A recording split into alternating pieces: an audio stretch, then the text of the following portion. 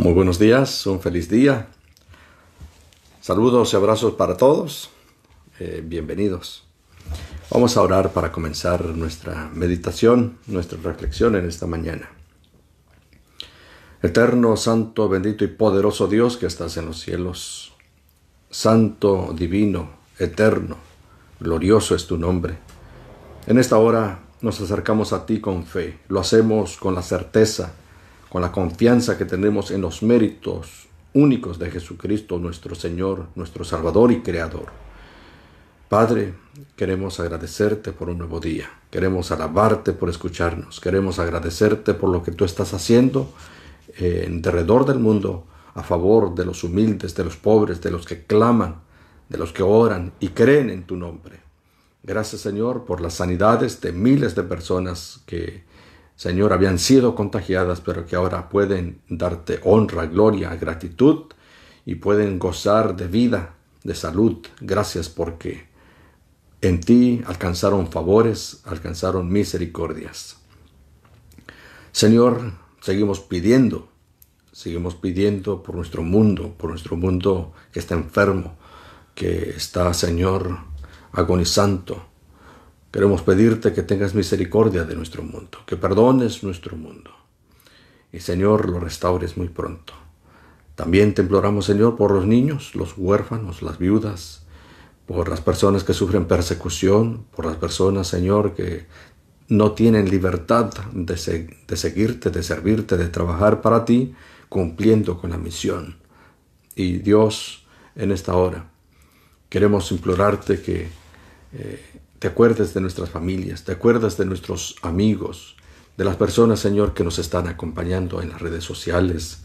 Señor, que tú puedas prosperar sus planes, que tú puedas alcanzar a sus hijos, que tú puedas darles la victoria que necesitan sobre cualquier mal hábito, sobre cualquier pecado.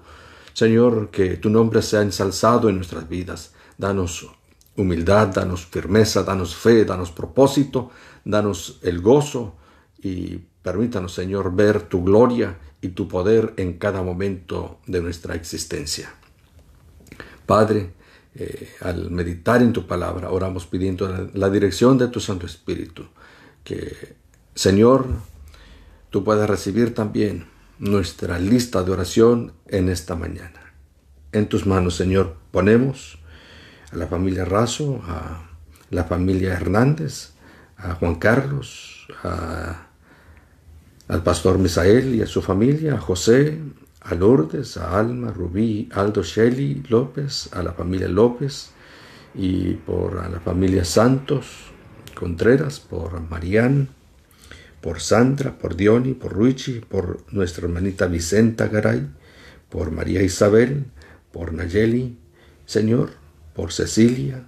Gracias Señor porque aunque han sido muchos los contagiados, muchos los que han estado enfermos. Sin embargo, ha sido también gracias a tu nombre y gloria a tu nombre por los miles, miles que han sido sanados también. Proclamamos tu poder, te exaltamos, te reconocemos como nuestra luz, nuestro sustentador, nuestro defensor y nuestro protector. Te alabamos, oh Dios, por lo bueno, lo grande y maravilloso que tú eres con cada uno de nosotros. Te adoramos, Señor, y recibe nuestra gratitud en el nombre de Jesús. Y el pueblo de Dios dice, amén. Amén. Nuestra meditación, nuestra reflexión se encuentra en 1 de Samuel 3.9. 1 de Samuel 3, versículo 9. Y dijo Elí a Samuel, ve y acuéstate, y si te llama, dirás, habla, Señor. Habla Jehová porque tu siervo oye. Así se fue Samuel y se acostó en su lugar. Nuestra meditación es breve, es muy sencilla y habla sobre aprender a oír, a escuchar la voz de Dios. Samuel era apenas un pequeño niño cuando fue llamado para servir, servir a Dios, para ser profeta de Dios. Y encontramos que Samuel no titubeó al llamado de Dios. Él dijo, habla Señor, que tu siervo escucha. Estaré hablando a alguien que necesita escuchar la voz de Dios. Estaré hablando a alguien que necesita entender, comprender estos tiempos que estamos viviendo. Estaré hablando a alguien que necesita abrir su corazón hacia la voz de Dios. Estaré hablando a alguien que necesita ser guiado por Dios, dirigido por Dios, bendecido por Dios. Si tu vida está vacía en esta mañana, si tu vida es solitaria, si tu vida está llena de estrés, de congojas, de preocupación, de dolor, de tristeza, de desánimo, este es tu momento. Dale una oportunidad a Dios y Él te fortalecerá y Él te llenará de paz, de consuelo, de fortaleza, de alegría, de satisfacción, de seguridad. Dale una oportunidad a Dios y verás, como dice un pensamiento que leí, eh, si no si no has recibido o si no has alcanzado, dice, si, si buscas, eh, si buscas encontrar un milagro, si buscas encontrar un milagro, quizás no lo encuentres. Escucha bien. Pero si buscas a Dios, el milagro entonces te encontrará. Quizás, como verdad, muchas veces eh, nuestra vida, nuestra mirada, eh, estamos enfocándola en cosas que no debemos. Entonces el Señor nos invita para que regresemos a, su palabra. Porque nosotros como seres humanos nos comunicamos con Dios a través de la oración y Dios dejó la oración como fuente de fortaleza, fuente de consuelo. La oración es fuente de poder, la fuente, eh, la fuente de gracia, la fuente de esperanza se recibe cuando vamos a Dios a través de la oración. La oración es, es, un elemento, es una herramienta muy práctica, muy buena, muy esencial, necesaria. Es como el respirar. Eh, la oración es el aliento del alma, dice un pensamiento. Entonces, como el respirar es necesario, entonces, eh, estar eh, en constante oración a través de la oración. Habla, Señor, que tu siervo escucha. Para escuchar necesitamos enfocarnos. Para escuchar hay que prestar oído. Para escuchar hay que dar valor y atención hacia la persona que nos está dirigiendo el mensaje, el comunicado. Pero muchas veces malinterpretamos el ah, comunicado, no entendemos bien el mensaje y por eso hay frustración, por eso hay malos entendidos, por eso nos enojamos, por eso le echamos la culpa a una persona cuando no entendemos claramente su mensaje, qué es lo que nos quieren decir. A veces eh, la gente tiene malas intenciones y envía mensajes con doble sentido. Eh, esos mensajes no son buenos, prácticamente no, no edifican, no construyen, entonces hay que desecharlos. Pero el Señor nos está diciendo que Él desea hablarnos. Y el ejemplo de Samuel, el ejemplo de Samuel es un ejemplo muy hermoso, muy bonito, porque él tiene voluntad, disposición de escuchar la voz de Dios. Él tiene el deseo de ser dirigido, guiado por Dios. Que este también sea nuestro deseo. Que este sea el anhelo de nuestro corazón en esta mañana de decirle al Señor, habla Señor, que tu siervo escucha. Te presto atención, Señor, para que tú me hables, para que tú me indiques, para que tú me presentes tu voluntad, para que me, me digas cuál es el propósito que tú tienes para mi vida. Entonces, habla, Señor, que tu siervo escucha. Eh, necesitamos hacer el esfuerzo eh, de atender a la palabra de Dios, prestar completa atención a la palabra de Dios. Dios nos habla a través de su santa palabra. Dios nos habla a través de las santas escrituras. Dios nos habla en cada versículo, Dios nos habla en cada historia bíblica, Dios nos habla en cada profecía, Dios nos habla en cada mensaje, en cada historia de la Biblia. Dios desea comunicarse con nosotros porque desea, si estamos tristes, desea consolarnos. Si estamos sintiendo eh, experiencias de derrota, de quebranto, de desánimo, de estrés, el Señor desea fortalecernos. Él desea darnos la seguridad de que la victoria está asegurada en su nombre. Él desea decirnos que vayamos a la pelea, a la guerra, pero no solos. Él va adelante, pero para ello es necesario escuchar la palabra de Dios.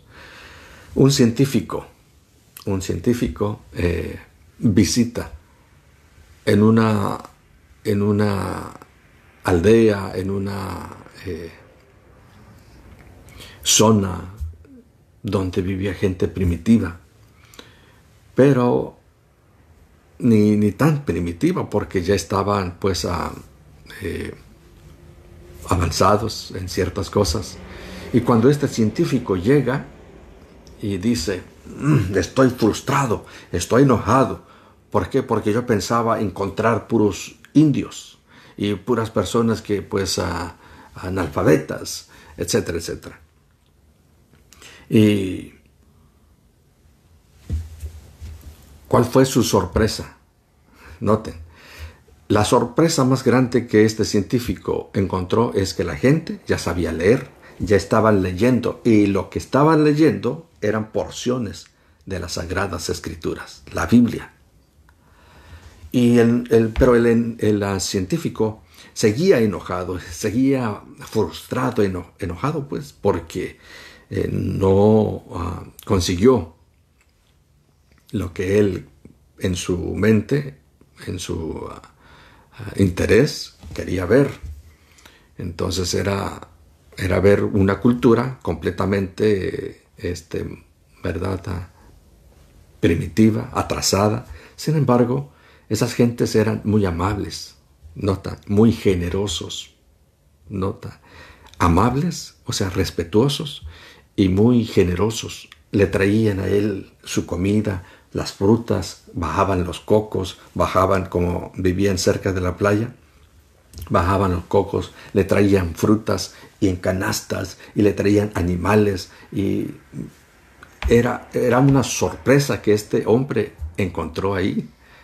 ¿Qué había sucedido? Esa es la pregunta. ¿Qué había sucedido con estas personas para que estas personas fueran amables y generosas, muy buena gente. Este, el, científico decía, ¿verdad?, que eh, estaba enojado, estaba frustrado, estaba eh, desconforme con lo que había encontrado, con lo que estaba mirando. Y entonces, este, de tanto en tanto que él estaba eh, enojado, uno de los jefes de la tribu de esa zona, de ese lugar, le dijo, sabes, eh, nosotros conocemos a Dios. Y él se sorprendió. ¿Cómo? Dios no existe. Esa Biblia, esa eh, Biblia eh, es de los hombres. Este, eso fue inventado por los hombres, decía el científico. Un momento, un momento le dijo el jefe de la tribu, si no hubiera sido, si no hubiera sido por la Biblia, si no hubiera sido por la palabra de Dios, ya te hubiéramos comido, le dijo el jefe de la tribu. ¿Por qué? Antes esta, tribu, estas personas eran caníbales, comían gente, comían personas, de la que se salvó ese científico. Pero hermanos y amigos, la palabra de Dios todavía cambia vidas. La palabra de Dios todavía puede hacer la diferencia en tu hogar, en tu vida, en nuestra sociedad. Nuestra sociedad sería diferente, no habrían pobres, habría gente benévola, habría gente compasiva, tierna, habría gente generosa, habría gente buena. ¿sí? Si se hiciera caso si se siguiera la palabra de Dios. no habrían divorcios, no habrían pecados, no habría maldad, no habría miseria, no habría eh, gente arrogante, no habría gente eh, prepotente, no habría lascivia, no habría engaño, ni mentira, ni falsedad, ni hipocresía. Sí, cuando no se sigue la palabra de Dios, entonces hay tristeza, hay dolor, hay gritos, hay peleas, hay desconformidad, hay explotación, hay crímenes, hay violencias, hay pecado. Cuando no se sigue la palabra de Dios, pero cuando se sigue la palabra de Dios, se descubre un, camino hermoso de paz, de alegría, de felicidad, de esperanza, de gozo, de consuelo, de armonía familiar, de un verdadero éxito de la vida y con un propósito por la palabra de Dios. Habla, Señor, que tu siervo escucha. Vamos a orar. Nuestro Dios y Padre, en esta hora queremos alabarte por tu palabra. Queremos agradecerte porque, Señor, nos amas. Y porque nos amas, nos diste, Señor, tu palabra tu palabra que es luz para nuestro camino, tu palabra que es fortaleza en momentos de tristeza, en momentos de derrota, en momentos de oscuridad. Tu palabra es luz para nuestro camino, porque nos lleva, Señor, a la fuente de esperanza que es Jesús, a la fuente de gozo que es Cristo, a la fuente de vida, a la fuente de victoria. Todo buen hombre, todo buen don, todo don perfecto desciende de lo alto, del Padre de la gloria, de nuestro Señor Jesucristo. Gracias Señor por tu bondad, por tu paciencia, gracias por darnos tu palabra. Ayúdanos a vivirla, ayúdanos a estar dispuestos a ponerla en práctica en nuestra vida. Ayúdanos a ser más semejantes a Jesús, porque eso es el intento de la palabra de Dios, de ayudarnos a mirar hacia Jesús, para llegar a ser como Él es, para vivir como Él vivió, para hablar como Él habló, para pensar como Él pensó y caminar como Él anduvo. Señor, danos más de tu santa palabra. Danos más de ti, danos más, Señor, de tu poder, de tu amor, de tu misericordia. Danos más, danos más del Espíritu Santo. Háblanos, Señor háblanos a cada uno de nosotros que estamos dispuestos a oír tu voz. Háblanos, que escuchamos, Señor. En el nombre de Jesús lo rogamos. Amén. Amén. Un feliz y muy bendecido día. Que el Señor te acompañe, te dé fortaleza, te dé esperanza, te dé consuelo, te dé gozo. Fuertes abrazos, bendiciones. Hasta pronto.